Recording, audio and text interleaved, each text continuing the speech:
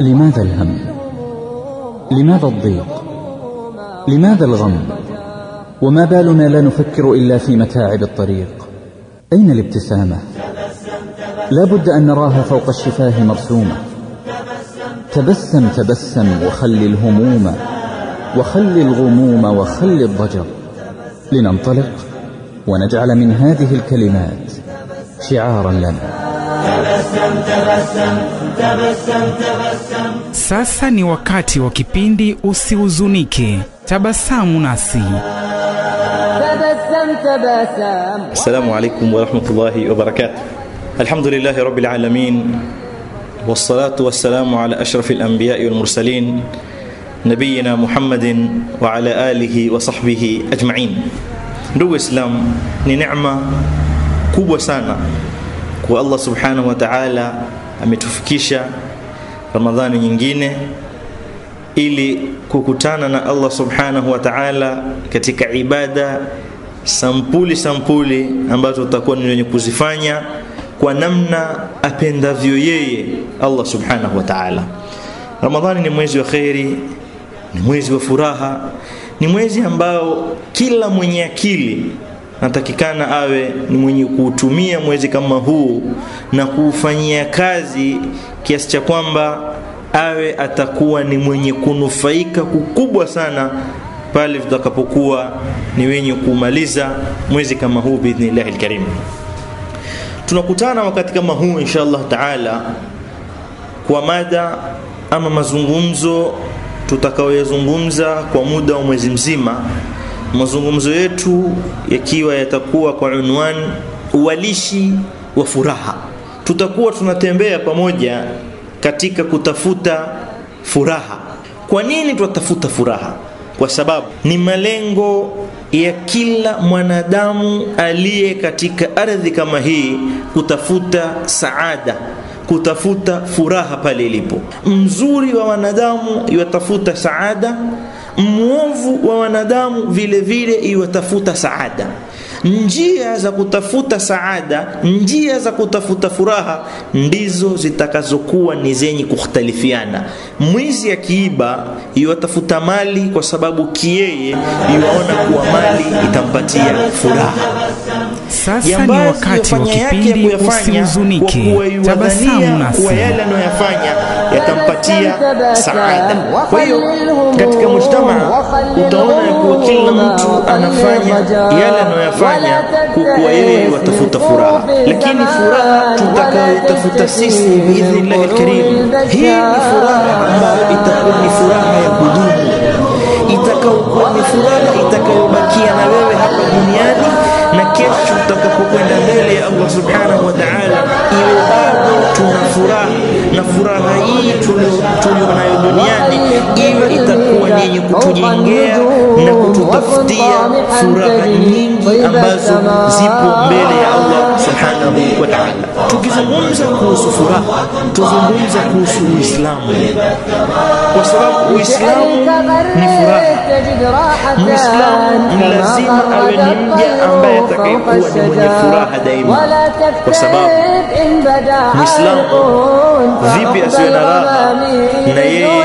yumwabudu muumba wake ambaye ndiye aliyeumba furaha.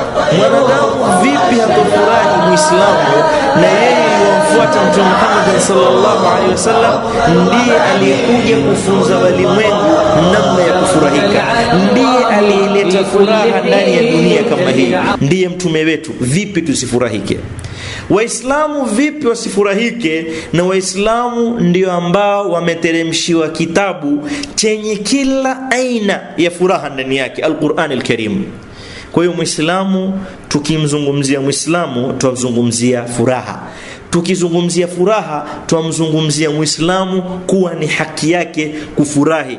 Na haya yuwayathibitisha mwenyezi mungu subhanahu wa taala katika qurani lkarim suratu yunus aya ya 58 mwenyezi mungu subhanahu wa taala asemaje? Asema qul بفضل الله وبرحمته فبذلك فليفرحوا. هو خير مما يجمعون. قال يعني الله سبحانه وتعالى نفوت الإسلام قل بفضل الله وبرحمته. سامنا وانبيا محمد. Kwa fadhla za Allah subhanahu wa ta'ala zile alizoteremshia waislamu wa birahmatihi na kwa huruma aliyonayo Allah subhanahu wa ta'ala kwetu sisi wanadamu fabidhalika falyafrahu. Hayo mambo mawili lau tutayafahamu kisawasawa lau tutayachukua kisawasawa basi hayo ni sababu tosha ya waislamu ya wanadamu kuwa wataingia katika furaha katika saada. Mwenyezi Mungu Subhanahu wa Ta'ala asema fabidhalika falyafrahu. Basi kwa hayo mambo tuliyotaja waislamu wawe watakuwa ni wenye kufurahia. Kwa sababu Allah Subhanahu wa Ta'ala asema huwa khairun mimma yajma'un. Furaha hii itakayopatikana hapa kwa fadhila za Allah Subhanahu wa Ta'ala na kwa rehma za Allah Subhanahu wa Ta'ala ni kheri kuliko yale wanayoyatafuta wanadamu ambao hawajui Uislamu, ambao hawajui furaha ya kikweli iko wapi. Sasa utaona katika aya kama hii Allah subhanahu wa ta'ala yotubainishie kuwa Waislamu ni haki yetu kufurahi na furaha ya kikweli, furaha ya kudumu iko na sisi Waislamu. Ndio maana katika kikao hichi tutakuwa tukumbushana pale furaha ilipo, labda tumesahau, labda hatujui, labda tumeghafilika, tutakuwa tukumbushana ili ile furaha iliyopotea tuiregeshe. Ndio nikasema mazungumzo yetu tutayapatia unwan uwalishi wa furaha, tualikana pamoja, tuitafute pamoja furaha iko wapi. Ukiangalia Allah subhanahu wa ta'ala vile vile amewasifu waja wake waislamu amesifu waja wake ambao watakuwa ni wema kuwa watakuwa ni wenye furaha hapa duniani na kesho mbele ya Allah subhanahu wa ta'ala vile vile watakuwa ni wenye kuishi maisha ya furaha. Ndio nikasema tutatafuta furaha itakayokuwa na sisi hapa duniani na kesho mbele ya Allah subhanahu wa ta'ala. Mwenyezi Mungu subhanahu wa ta'ala yasema katika aya ya 170 katika sura Ali-Imran wakisifu wale watu watakaokuwa peponi. Mwenyezi Mungu Subhanahu wa Ta'ala tujalieni miongoni mwao. Asema Allah Subhanahu wa Ta'ala farihina bima atahumullahu min fadlih wayastabshiruna billadhina lam yalhaqu bihim.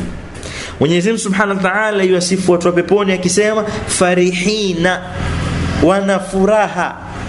Furaha ipo pamoja na wao. Farihina natokamana na neno farah kwamba waislamu duniani wana furaha kama tulivyotangulia kutaja katika aya ya kwanza. Aya hii nyingine Mwenyezi Mungu Subhanahu wa Ta'ala yuwasifu watu wa peponi akisema farihina watu wa peponi watakuwa wana furaha. Kwa sababu gani? Bima atahumullahu min fadli kwa zile fadla alizowapa Allah subhanahu wa ta'ala. Kwa hiyo ndugu zangu waislamu furaha ni ya waislamu. Na hasatan sisi tuko katika mwezi mtukufu mwezi wa funga ambapo kila mmoja wetu na hakika wakati kama huu anaendelea na somo isipokuwa wale ambao Mwenyezi Mungu Subhanahu wa Ta'ala amewapatia mitihani labda ya ugonjwa ama sababu nyingine yoyote inshallah Mwenyezi Mungu Subhanahu wa Ta'ala atakuwa ni mwenye kusahilisha kila zito na kumuondolea Muislamu biidhnillahil karim hapa tuko katika funga ambayo mtume wetu Muhammad sallallahu alaihi wasallam pia yuisifu funga yenyewe kuwa ni funga atakayeifunga kisawasawa. Ibada kama hii fadhila kama hii atakuwa ni mwenye kupatikana na furaha. Mwenyezi Mungu Subhanahu wa Ta'ala atakuwa ni mwenye kumlipa furaha mara mbili kama alivyosifu mtume wetu Muhammad sallallahu alaihi wasallam akisema lisaimi farhatani. Hakika yule mwenye kufunga ana furaha aina mbili ana furaha mbili ana furaha mara mbili furaha ya kwanza mwenye mtume Muhammad sallallahu alaihi wasallam asema farhatun inda fitrihi wa farhatun inda liqa'i rabbih ya kwanza furaha ni pale atakapokuwa ni mwenye kufuturu mwenye kumaliza funga yake. Iwe furahi ya kuwa amepitisha siku yake afurahi ya kuwa amemaliza funga yake. Furaha imemjaa ndani ya moyo wake na furaha kubwa zaidi ni furaha pale atakapokwenda patana na Mwenyezi Mungu Subhanahu wa Ta'ala. Mwenyezi Mungu atunufaishe na furaha kama hizo ndugu zangu waislamu nafikiri katika maneno tuliyozungumza tushajua kwa nini tunazungumzia furaha kwa kuwa furaha ndiyo malengo ya kila Muislamu. Kinyume na wanavyofikiria wengine ya kuwa Uislamu ni dini ya dhiki. La Uislamu si dini ya dhiki. Uislamu ni dini ya raha. Uislamu ni dini ambayo ukiifuata kisawasawa itakuwa ni yenye kutengeneza maisha yako ya kidunia yawe ni maisha ya furaha, maisha ya raha kuwa wewe utakuwa una utulivu wa moyo, hutotaka kwenda kumwangalia daktari wa, wa kuangalia nafsi yako, hutoshikwa na ugonjwa wa moyo, hutotaka kwenda kutafuta makansela wawe watakukansel na kuambia siri zako. La, ukifata Uislamu kisawasawa, furaha itakuwa ya kufuata wewe.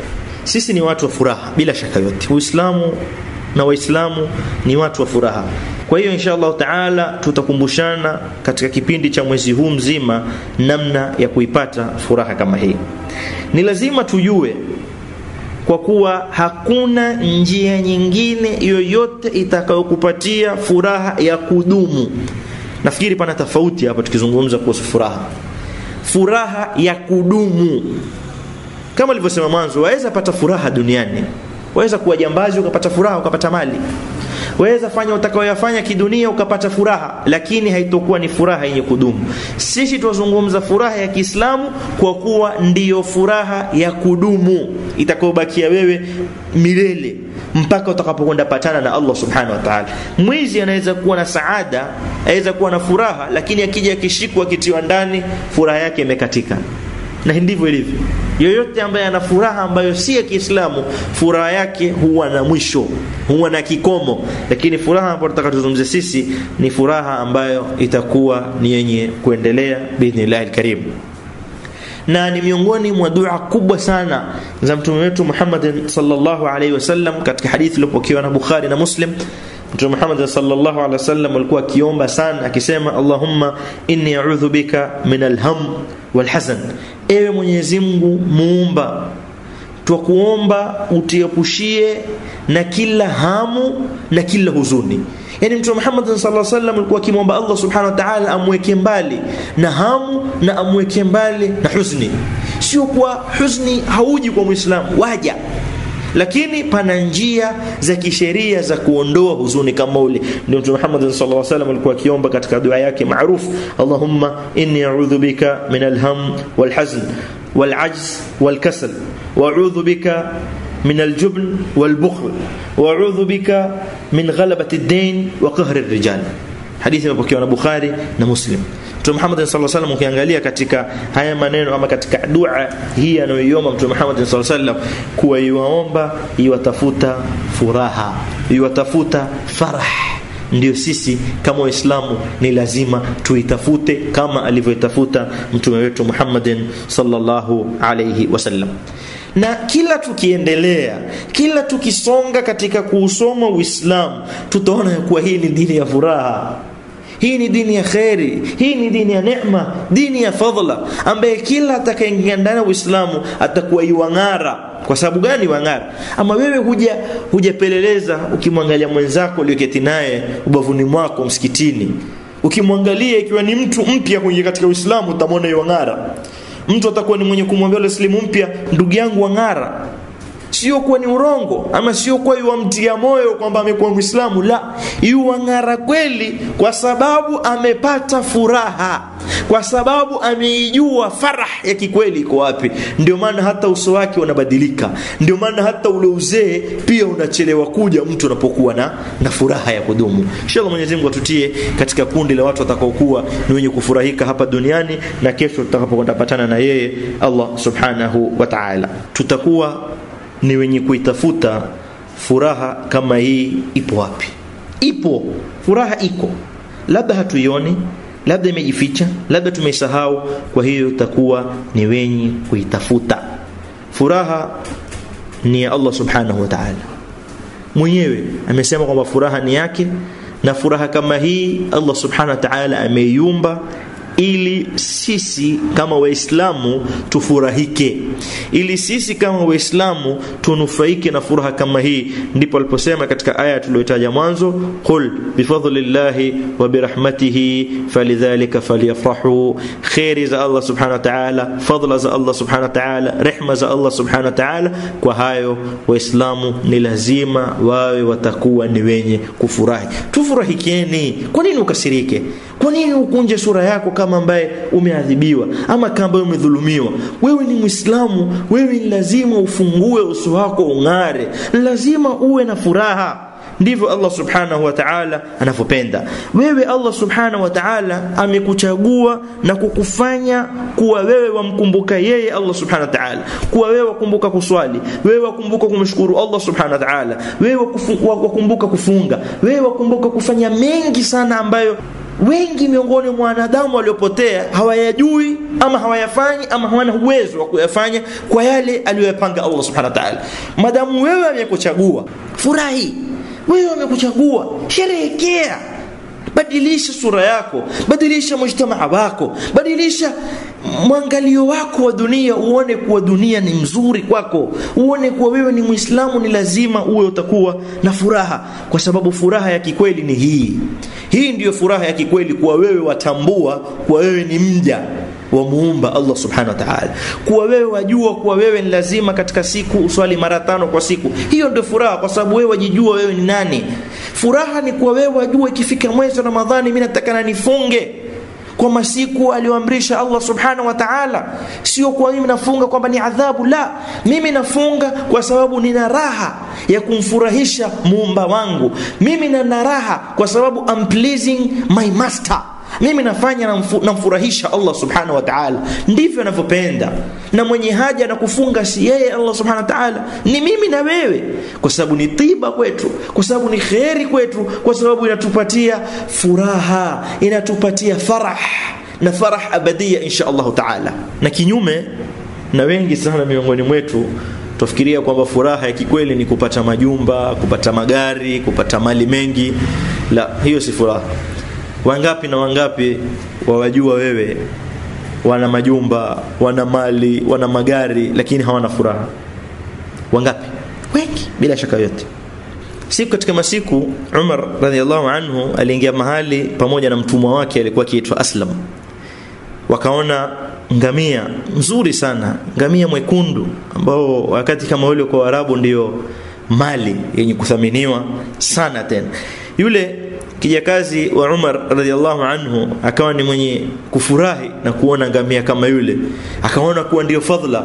Akaona ya kuwa ndio furaha ambayo mwanadamu anatakana awe nayo akawa ni mwenye kusoma aya ya Allah subhanahu wa ta'ala qul bifadlillahi wa birahmatihi falidhalika falyafrahu. Haya ndiyo ya kufurahisha haya. Upate ngamia kama huyu basi wewe utakuwa umeukata kama tunavyosema sisi lugha ya kileo. Nikishapata kama hii basi mimi nishaupiga umaskini teke mimi nina furaha. Umar radhiallahu anhu katika kuzungumza bwana kama yule akawa ni mwenye kumnyamazisha akamwambia kadhabt mrongo furaha si hiyo. Mwenyezi Mungu Subhanahu wa Ta'ala alomaanisha hapo si hiyo. Bali fadhila ya Allah Subhanahu wa Ta'ala ni kuwa utafanya yale ayapendayo Allah Subhanahu wa Ta'ala na utakuwa ni mwenye kuepuka na kuyawacha yale ambayo hayapendi Allah Subhanahu wa Ta'ala. Hiyo ndiyo furaha ambayo sisi twaitafuta. Furaha ya kikweli. Sio furaha ya leo iko kesho ngamia ankufa furaha yako ndio ingwisha Eh? Leo ngari umetembea barabarani umebeba accident na huna insurance hujalipo wafikiria vipi utakavyolipa? Gari badala ya kukupatia furaha ya kupatia ugonjwa wa moyo. Hiyo ni furaha ama ni karaha? Si furaha bila shaka yote sisi tutafuti furaha ya majumba tutafuta furaha ya kudumu furaha itakayobakia na sisi maisha yetu yote hapa duniani na kesho mbele ya Allah subhanahu wa ta'ala. Tuanzeni kuitafuta sasa furaha ilipo. Ipo wapi furaha ya kweli kabisa na ya kudumu ipo na hasa tutakapokuwa ni wenye kuzungumza tutakapomaliza mazungumzo yetu baada ya kumaliza mwezi wetu mtukufu Ramadhani inshallah taala ni matarajio yangu ya kuwa sote tutakuwa tumeshaipata na tutakuwa ni watu ambao tunaingia katika Idi ni watu wapya wenye furaha na furaha ya kudumu biidhnillahi lkarim. mwanzo kabisa furaha ya kwanza kabisa ya Muislamu akiitaka inapatikana katika neno moja tu. Neno lenyewe tutalisema kuwa ni neno la kimaajabu, magic word, neno la kimaajabu. Neno lenyewe ni mwanadamu kukubali kwa moyo wake, kisha ndio atamke na ulimi wake na kusema ya Allah, ewe Allah ewe muumba ewe mwenye kuleta furaha ewe mwenye kuleta huzuni ewe mwenye kutoa ewe mwenye kuneemesha ewe mwenye kumnyima mwanadamu. Ya allah hapo pana furaha. Hilo ni neno ambalo ni la kimaajabu magic word. Mwenye dhiki mwenye tabu mwenye balaa mwenye njaa mwenye shida akisema ya allah ikawa imetoka ndani ya moyo wake furaha itakuwa ni yenye kumpata bila shaka yote dhiki alionalo litakuwa ni lenye kumwondokea papo hapo. Lakini ikiwa utakuwa ni mwenye kulisema kwa nia ya kweli kweli. Tunamwomba allah subhanahu wa taala atupe nguvu na atupe thabati katika dini yetu na atupe ikhlas katika yale ambayo tunayoyafanya biidhnillah alkarim kwa sababu jambo lolote la kiislamu ikiwa halitofanywa na ikhlas jambo kama hilo halina faida na litakuwa ni lenye kupeperuka bila ya kupata jaza yote mbele ya allah subhanahu wa taala. Tuanza. ya allah ewe allah ndiye muumba ndiye anayetulea ndiye anayetulisha ndiye anayetubakisha katika ulimwengu kama huu. Ya allah neno moja lazima neno kama hili liwe kwenye akili yetu kwenye moyo wetu kwenye kinywa chetu daima tutakapokuwa na dhiki. Daima tutakapokuwa na tabu daima tutakapokuwa na hamu neno hili liwe litakuwa la kwanza kufika katika akili yetu na katika moyo wetu. Ya allah dhiki laondoka. Hapo ulipo ikiwa una dhiki sasa na wanisikia sema ya allah tamka ya allah kikweli lakini iwe yatoka ndani ya moyo wako kisha ujisikie namna pumzi zitakavyoshuka ujisikie namna utakavyokuwa ni mwenye kupatwa na ubaridi hata kama pana joto. Ujisikie namna utakavyokuwa ni mwenye kutabasamu mwenyewe hata kama ulikuwa umeudhiwa. Ya allah angalia khalifa almahdi.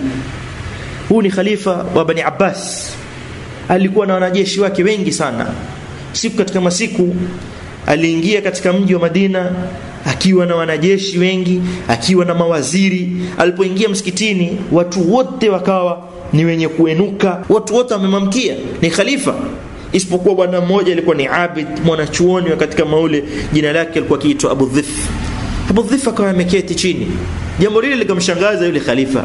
Akamwambia abu dhif mbona watu wote wamesimama na wewe umeketi kwa sababu wale waliosimama walikuwa wakiona kwamba tukisimama tutamridhisha khalifa tutakuwa na raha na yeye atafurahi.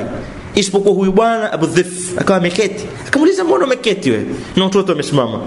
Asema nilitamani kusimama lakini nikakumbuka neno la Allah subhanahu wa ta'ala pale aliposema katika Qur'ani tukufu yauma yaqumu nnasu lirabbil alamin siku ambayo watu watakwenda msimamia Allah subhanahu wa ta'ala mola wa viumbe vyote, basi mimi nikatamani kusimama kwangu niwe nitasimamia Allah subhanahu wa ta'ala kabla ya kusimamia wewe.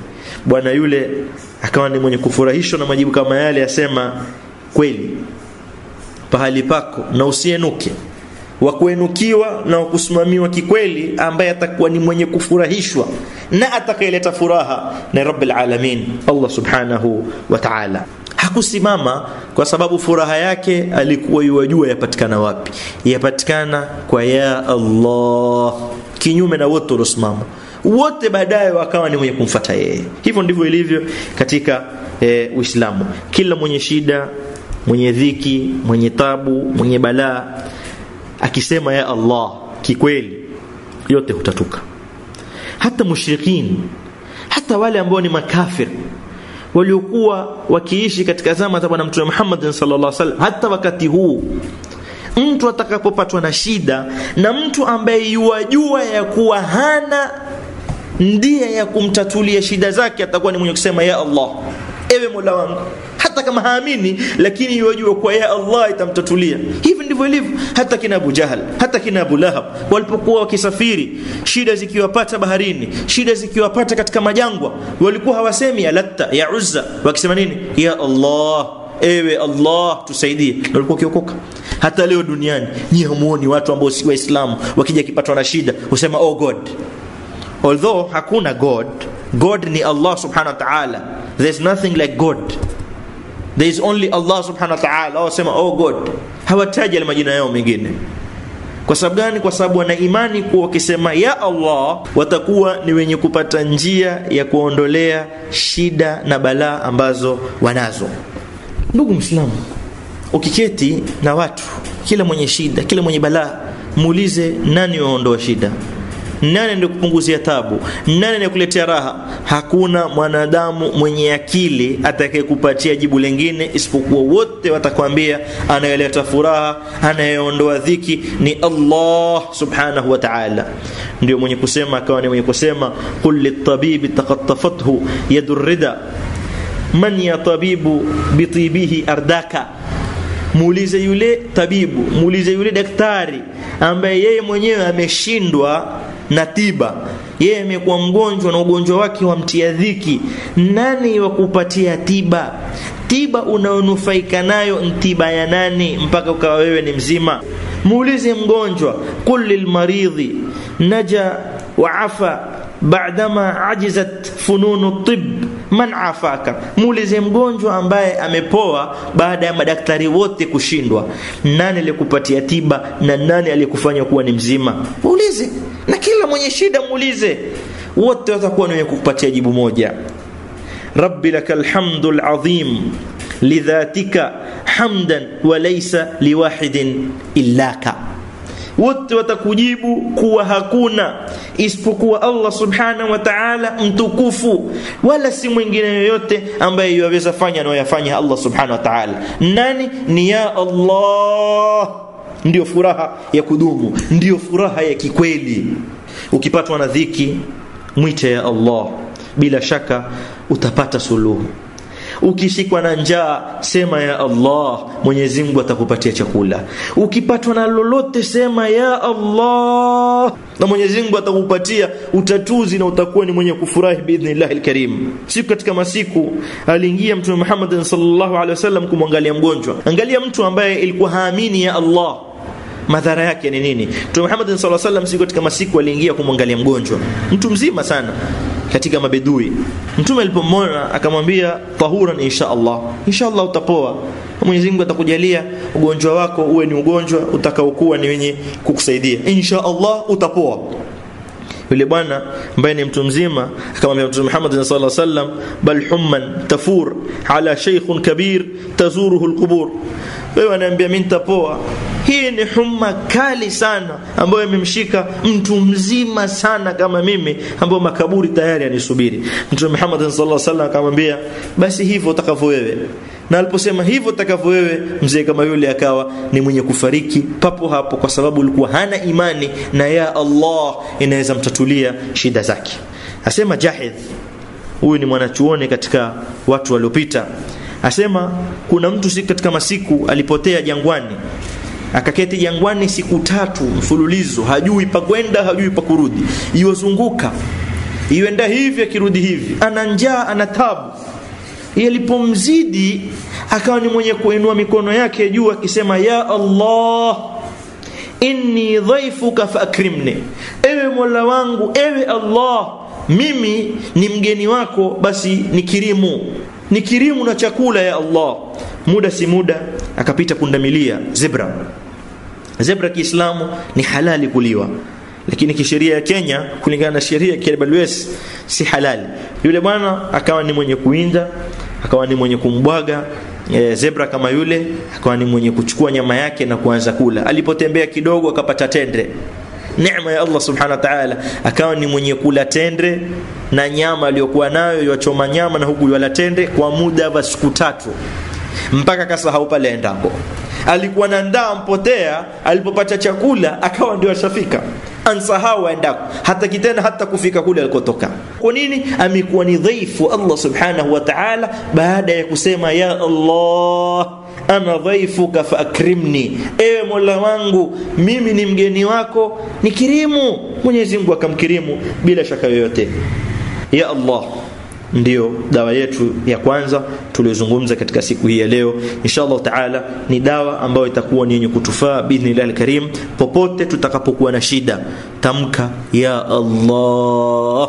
Na Mwenyezi Mungu inshallah taala atakuwa ni mwenye kutupatia njia ya kutufurahisha hapa duniani na kesho akhera. Biidhnillahi alkarim la ilaha illa Allah alazim alhalim la ilaha illa Allah rabbul arshil azim. La ilaha illa Allah rabbus samawati wa rabbul ardi wa rabbul arshil karim. Hii ni dua muhimu sana muislamu kuijua kwani mtume Muhammad sallallahu alaihi wasallam ameisifu kuwa ni dua alkarb dua ya kero. Shukran wa jazakumullah khair تبسم تبسم وخل الهموم وخل الغموم وخل الضجر.